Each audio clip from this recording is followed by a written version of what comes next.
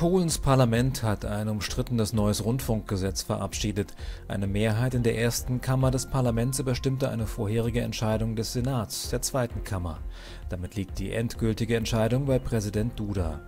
Kritiker befürchten, dass das Gesetz die Pressefreiheit in Polen einschränken könnte